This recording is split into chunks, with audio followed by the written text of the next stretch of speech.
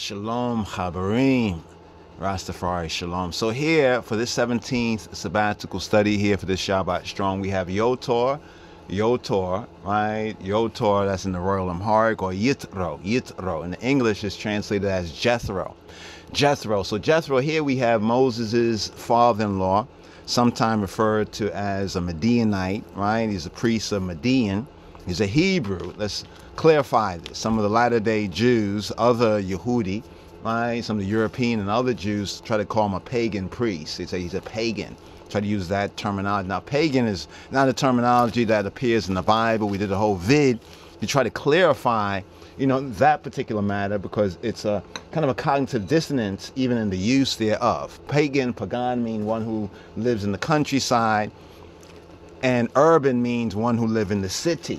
So that means you can have a faithful Torah observant righteous person who lives in the countryside, pagan, or you can have a righteous person who lives in the city, the urban. It has nothing to do with the biblical terminology of Gentile or of Goyim from the Hebrew or of um, nations. Nations is a little more of the the social political you know, of that biblical terminology. Understand the truth of the Bible even in these latter day times of the Gentiles. But here, here, here, subject matter right here, as in the subject matter, but just kind of just remind ones and ones on it. Because when we heard that someone was saying that Jethro was a, um, you know, a pagan priest, a pagan, but he's the first one to bless Jehovah out of 600,000 Bnei Yisrael, sons of Israel, male, male Israelites. See the term Bnei Yisrael, Bnei, Bnei, actually in the Hebrew means sons of. Literally, directly, it means sons of, but often it can be and has been brought out like in the KJV translation as children of Israel. See, it's all leading to the point right here and asking this question. Is one of the reasons that hopefully after the Shabbat, the podcast, you know, if you get through the Aliyot, you know, the Torah reading, Haftarah, the Brit Chadash, the New Covenant reading, get into a reasonment on this right here, here, here, but definitely for the Talmudim, the Rastafari Talmudim, for the disciples, Talmudim, the Hebrew for disciples, for those who are in the true um, Talmud, which is a true teaching. It's an operative word, brothers and sisters. Don't get it twisted. Look it up, study, right? Get to know the truth for yourself. But here, here, here, subject matter right here is was the ten what's called the Ten Commandments. Now we know that we know the Ten Commandments scripturally, biblically as the Eseret HaDibarim. Eseret HaDibarim. And the Eseret HaDibarim, what does it mean, Chabarim? The Eseret HaDibarim, Eseret means the ten Debarim, Debarim. Some of the modern Jews and the modern enunciation of Hebrew, they'll say Eseret Devar, well, they say Devrot, right? That's a kind of modern way in Judaism. But scripturally, Torah-wise, being Torah observant, in the Torah is the Eseret Ha-Debarim. In other words, the ten Right, the Esra Debarim, the ten words. Debarim mean the ten words. So what's called the Ten Commandments correctly is the ten words. Correctly, the Ten Commandments are one commandment. The Ten Commandments are one commandment. Hebraically, we say truly Judaically, we refer to the Ten Commandments, right? The Ten Commandments as the ten words. Eseret Hadibarim or the Eseret Debarim, the 10 words. So the question here for this 17th Rastafari sabbatical, here we're in Shabbat. Shabbat Yitro, Ethiopically Senbet, Senbet Yotor, or simply speaking, Sabbath Jethro, the 17th sabbatical study here for this Shabbat Strong. Jethro. And in this Torah reading and feeding, we have the 10. The 10 words, that is often referred to as the Ten Commandments. And there's a lot of controversy around the whole thing. Where did Moses get it from? Did he get it from Egypt? Some people believe that, and we can address all of that with facts, with exhibits, with evidence, you know, so-called receipts, as well as a couple of invoices, you know, included in those receipts right there. But the point here is, was the 10 words called the 10 commandments, were they given to men only, for men only. I just thought about that right there. You know how they have that They still have that business out there, right? For men only or something like that. Were the ten the Ten Commandments for men only? Who were they given to? So here we're trying to work out a little bit of what we put in the title of this particular vlog and this particular vid right here you know? But just going through some of the basic reasonings here just to bring forward the basic reasoning. What's the reasoning here? The question is based on this question was the ten commandments or were the ten commandments or we can even say are in the present tense sense but let's first look in the context as it was originally given. Were the ten commandments were they given to men right or the males of Yisrael only right? So the question could be, who were the Ten Commandments given to? We'll say the children of Israel. Speak to the children of Israel. But when we say the children of Israel, in the Hebrew, the term children of Israel is B'nai, B'nai, right? Somebody enunciated differently. B'nai Yisrael. B'nai Yisrael. So here, we'd like to look at what's known as the ten, right? Right here, here, here, the ten words, also known as the Ten Commandments asking the question, who was the Ten Commandments given to? Answer, children of Israel? Yes. More specifically, the sons. The sons, the B'nai. B'nai from Ben, right? B'nai, B'nai Yisrael. B'nai Yisrael was given to the sons of Yisrael. Now, how do we know this? Well, we know this as we get into the Hebrew studies of the Torah. Right? And the Hebrew studies here in the second book of Moshe, the Hebrew book that's known as Shemot. So Hebraically, Exodus, Yetziat, right, Mitzrayim, like the Exodus, Yetziat, that's how we refer to it, Yetziat, this is how it gets its, its um, the Koine Greek name, Exodus, and then it comes down to us as Exodus, right? But actually, from a Hebrew, prior to the Koine Greek, you know, because it's Septuagint, right? Copto Koine Greek Septuagint, it's referred to and still referred to as Shemot. And Shemot means the names, the names, the names, the names, the Shems, the Shems. So why did Hashem, why did the name, right? Yahweh, Yahweh, Yahweh, HaKadosh, Baruch Hu, Baruch Hashem. Why did Jehovah give the Ten Commandments to the males of Yisrael? Why is it directed in the Hebrew, in the language? As we study the language, right? Who is speaking, right? And who is being spoken to?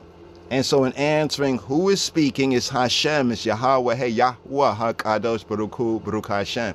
He who be, who he be, Eloheinu. It's our power, our Hebrew God power is speaking to who? The B'nai Yisrael. He's speaking to the sons of Israel. Then we look at the language, and the language is directed to a male singular.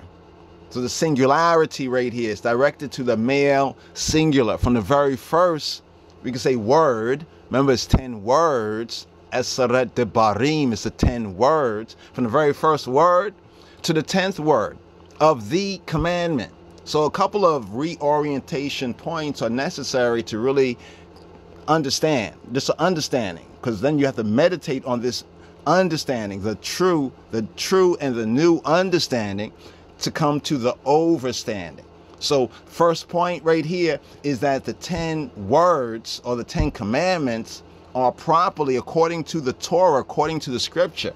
We're not deep ending on the translation. Many of us have had to deep end, right? We had a deep end. And I'm going to say deep end, we were in the deep end, you know, depending. We had to depend on the translator.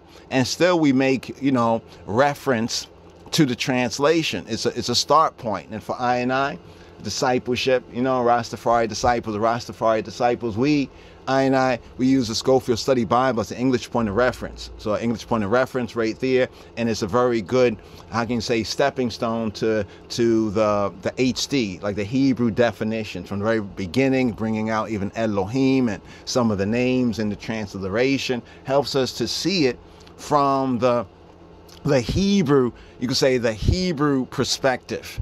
In other words, how did the Hebrews and when I say Hebrews, I'm not just talking about flesh, I'm talking about the spirituality, right, of the true, we could say, descendants, right, of Abraham, Yitzhak, and Yaakov, of the Hebrew Trinity, all right? So here, here, here, who was the 10 words spoken to? The 10 words were spoken to only the males of Israel, right? For men only? That's the question we're asking. Were the Ten Commandments being spoken to the men or the males of Yisrael? And there's a few points, even within the Ten Commandments. First of all, just looking at the narrative, explains the point. So many of us have gotten like a faulty view, right, of what we should know is truly true, really true. Now I know this might be shocking to some to say, well, are you saying that the woman, woman don't have to keep the Ten Commandments? No, what we are saying right here, right? What we're saying right here is that when the Ten Commandments, the ten words rather, correctly, the ten words, ten words is one commandment. That's the first thing we have to understand the context of what we're talking about. We often refer to it as the Ten Commandments, Ten Commandments, Ten Commandments. And that's because some rather poor translations. Even in the one or maybe two places in the KJV and other Bibles where it might say in the translation Ten Commandments, if you do due diligence and you look at the, the, the Hebrew, the Masoretic, what they allegedly translated from, it does not say Ten Commandments in the original. So that's a point that uh, most Yehudi, most Jews and Yehudi understand this. that's why sometimes the Yehudi and the Jews don't argue about some things because some things are really silly and stupid. It really shows that you haven't done the basic work. You're criticizing the Hebrews, the Israelites, the Old Testament, and you haven't even done the basic work, right, of comprehending the linguistics and the language. All you're talking about is what 1611 translation, the so-called King James Version translation, right? And then when somebody's showing you the Hebrew, you act as though the Hebrew don't matter. I'm not talking to my, my brothers, but I'm saying to those, you know, these and those. These and those be like that. So here, here, here, the Ten Commandments, we're going to state this on the record right here because some of these other guys, these other camps, they can't really, you know, be 10 toes down on this, on these 10 words right here, right? And state that because the majority of them are still stuck on the English only. They're the English only. So from the English only, you might not be able to perceive or, or see, right, who was being spoken to. You're not able to see that in the English so so clearly or so easily. But when you start to look in the text, notice some things about the, the text where it talks about um, he will visit the iniquity, right? of the fathers. You notice that right there? It doesn't say the fathers and mothers. Just, just kind of a point right here. When he says that he will visit the iniquity, right, of the fathers. it doesn't say of the fathers and the mothers. Right? Upon the children to the third and fourth generation those who hate him. Now, see, that's the trans more or less a translation right there. Right? Now, the part about the fathers they brought out. Now, in some versions, or perversions, they probably will retranslate that, mistranslate that as um, visit the iniquity of the parents. They probably say parents, but no, literally, directly it says fathers. Why? There's a biblical principle you hear some church folks saying sometimes to whom more is given, more is required. Right? To whom more is given, more is required. So we talk about things like the mind, you know, it's with the black man being the man and manning up and taking responsibility. Well, if it, it wasn't in the beginning. No wonder it's so difficult now in the so-called end time, in these end times of the Gentiles, because in the beginning we can see how difficult it was. And see, this is giving a true perspective, right, of the ups and downs, mixed up moods and attitudes, follies and undercrowns of the B'nai, of the sons, the sons of Israel. Now, this does not say that, well, there was no woman, you know, all the women were, were right and perfect and none of them were doing wrong things or bad things. No, no, we're not saying that. That's not the point right here. Even the scripture addresses that. But everything precept upon precept, line upon line, everything in his its good order. Here a little, there a little. First we have to go right here because this is the Torah reading and feeding. We're in the 17th sabbatical study, right, for Shabbat Yitro, Sabbath Jethro. And it's here where we have Moshe's um, Choteno, Choteno, his, his, his father-in-law. His father-in-law now he has heard all that Hashem, Yahweh, Yahweh, Jehovah, HaKadosh, Baruch Hu, Baruch Hashem, the Holy One, blessed be He, blessed be the name that Hashem has done for the B'nai Yisrael, for the sons of Yisrael in bringing forth, right, the children of Israel out of Mitzrayim, out of Mizraim. Now he heard this, he didn't see it. What does the Bible say? The Bible says faith comes by hearing, and hearing by the word, right? The Dibre Elohim, by the word of the true good, the true God, right? The Elohim, right? The Hebrew, the true Hebrew God powers. Yes? Yes. So that even proves even right there from an English perspective when you look at the 10 words or the 10 commandments as you call them in Exodus chapter 20 right in Exodus chapter 20 you'll see where he says he will visit the iniquity of the fathers now, some people read it and try to do this kind of nowadays, latter days pseudo pseudo equality thing, you know, and say, uh, you know, visit iniquity upon the fathers and the mothers, or they'll be even put the woman first. They'll say the mothers and the fathers. They do this perversion, all this screwy stuff. If we just understand how it was intended from the very beginning, we will find that it's not necessary for us to insert our latter day mixed up moods, ideas, confusions of this latter day Gentile society on the ancient scripts when we understand how it was intended from the very beginning. Right? This is why we use this as an object lesson right here concerning the 10 words, aka the 10 commandments. That the 10 words, the 10 commandments, right, are directly given and speaking to the men, the sons of Israel. And one of the reasons he says he'll visit the iniquity of the fathers upon the sons. It's not children there in the sense of like boy children and girl children. No, it's specifically upon the sons of Israel. So the fathers, see, the fathers had a responsibility, not just to the sons, right, but to the whole family. The man, we talk about man up, right? Here for the Israelites is here we could call this section of the narrative just post Exodus as the man up with the giving of the 10 words called the 10 commandments is man up right? But what the sons of Israel right even as the lost found black and brown even show today and nowadays in these latter days it's almost like man down man down right? Man down not man up right man down because so quickly after they had come into covenant, right, with Hashem, we see where they broke the covenant and the covenant had to be renewed. So even here, we find as we're moving forward here in the second book of Moshe called Exodus, we'll find there's a renewing of the covenant, which even in the Old Testament, there's a New Testament. That's another related point because some Old Testament only Hebrews and Israelites talk about, oh, whoa, whoa, the New Testament, this, the Brit Chadash, that. But then note this right here that there was already a new covenant in the old covenant.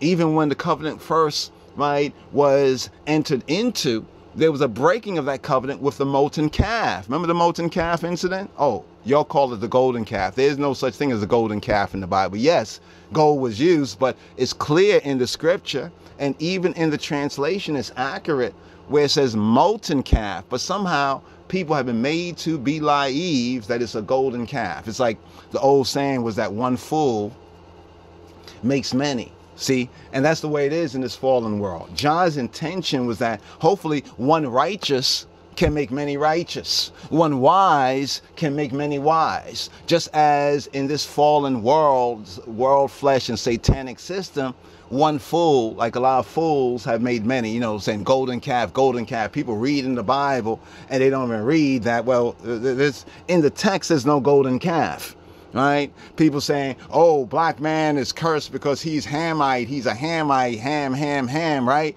And then we read in the Bible, there's no curse of Ham. There's the curse of Canaan. Then we get to find out that, that actually the Canaanites has to do with the Indo-European people. So it's like, mm, projection. That's what they call it in psychology, right? There's projection. You're the one doing, but you're projecting it onto others. This is what happened with the whole curse of Ham, but actually Canaan was cursed. But what I'm trying to emphasize here is as many key areas that you hear people arguing on using certain language, and yet that language is not even there in what they're arguing, that they're not paying attention and they're not reading with comprehension and paying attention to what they're reading. It's like right here with the whole Ten Commandments thing. So there are some things that have come out from Christianity, right? From from white Anglo-Saxon Protestant Christianity, things that they have said over and over and over and over again. So now we get into this and we begin to, you know, regurgitate what they said, right? If we don't study, that's if, if, if, right? Just because, because, because, because, if you don't study, but if you study to show yourself approved, then you and me, I and I do well. So here, here, here, question. Why was the Ten Commandments aka the 10 words. All right, because it's going to take us a while to wean off of you know, as Matthew said, a bad habit, a habit once formed become like an incurable second nature. The only thing to do for bad habits is replace with a good habit. So we're gonna have to. I got to catch myself sometime. I'm intending to say the ten words because that's what it truly is. It's not the Ten Commandments. We've gone through this study. We can prove that that's not what they should have been called. But this is how how tradition and counterfeit Christianity has made us believe, and even people. There's many people who know and read the Hebrew and know that what we're saying is correct, but they continue like knowing what they know, they continue to do what they do. Hopefully, right, we will do better, better for I and I. Yes, I, Rastafari. So why were the 10 words, aka the 10 commandments, given to the men of Israel only? We could say were they, but we already know that they were. But for men only, the 10 commandments. Then the question is, if this is so, what about the woman? But before we go into the part of the additional reasoning of what about the woman, let us just get like 10 toes down, so to speak. Let's get on firm, solid, you know, rock bottom ground on this right here. Exodus chapter 10. No, Exodus chapter 20. Exodus chapter 20. Oh, so much 10, 10, 10, right? Exodus chapter 20. The 10, what's called the 10 commandments, are actually 10 words are actually one commandment. We can prove that too scripturally. That what you call the Ten Commandments is one commandment, is one commandment, which has 10 words. Literally in the Hebrew, devarim, devarim, devarim is words. Debar, devar, debar is word, singular. Devarim is words. Eseret is 10. So we have the 10 words. So 10 words like 10 articles you know like an article like agreement. You have a like some type of agreement and it has different articles there right? But each of the article goes along with the next article. Like James Jacob, oh, Jacob in the New Testament says he says that if you break one you break all because it's all one. That's why he, he emphasizes. So that shows that the true view of the 10 words right was as one commandment one commandment so the 10 words were given to the sons of Yisrael. How do we know that? Well, let's follow up and get into a little more of the Hebrew of it. We'll find that the the the the possessive pronoun, the pronoun and possessive pronoun, the Hebrew pronoun and possessive pronoun throughout the 10 words called the Ten Commandments are being directed to an individual or a singular male. A singular male. So, for example, what is it like? Let's give an example of. So, an example, an example of what it be like, right? What it be like. Here, here, here, we have this, and this is based on the translation from the Royal Amharic from that pure language that he would turn to his people from beyond the rivers of Ethiopia. He says, My advice the King Messiah, the King of Kings, the Black Messiah says, My advice to all is to fulfill the Ten Commandments, the Ten Words. To do what? To fulfill, fulfill, right? Of all the words that Kedemawi Haile Selassie, the conquering line of the tribe of Judah, could, you know, could give, answer that he can give. What was his advice to young people? He was asked concerning young people. And he says his advice to all young and old, to all, is to fulfill right the 10 words aka the 10 commandments. So an example of what it be like what it be like is you're speaking to a group of men right a group of men. But to each man man you are saying you singular. See this is something that we don't have in english. Some other languages even european languages do have a different pronoun right for you male and you female in English, when this Babylonian, this Gentile, this end times, the end of the times, the Gentiles language, right? English, this Frankenstein, we call English as a Frankenstein, like the monster Frankenstein, a bunch of parts here and there and everything, a composite. Well, that's what English is like. In this English language, you don't have a pronoun, right? We don't have a pronoun for for you male and you female. But in many other languages, Romance, Latin, Romance languages, also we have languages like, um, you know, also we have languages like the Afro-Semitic languages, talking about the Hebrew and other Afro-Semitic languages. There is a difference, right? There's a keyword difference between you, male, and you, female. For example, in the Hebrew, we say ante. Well, we, we say that, that's Amharic right there. Ante, that's more like Aramaic, that's more like speaking Eastern Semitic. Speaking the Hebrew, the biblical Hebrew, Western Semitic, we say ata, ata. We say ata, ata, ata, ata. Ata is you, male, and we have at, at, right? At is you, female. In Amharic, we have ante, ante, ante. If I say ante, antene, antene, you male are, right? If I say enante, right? Enante, enante is like to say like you all, right? So there is ways of saying you male, right? Directly and you men, right? For example, when it says Yahweh, Jehovah, right? The Lord your thy God, you know the phrase in the English, Lord thy God. When we see here, we have instead of Lord thy God, in the Hebrew we have Yahweh Eloheka, Eloheka. Ever said Elohaic, Elohaic, Elohaic, right? Or Elohaic, Elohaic, right? Elohaic is you female, your female power, your female God, or to say to man Eloheka, Eloheka. So usually in many places in the Torah, when Jehovah is speaking to all of the sons, when it says, speak to the B'nai, B'nai Yisrael, speak to the sons of Israel, often is translated as um, children of Israel, not specifically as sons of Israel.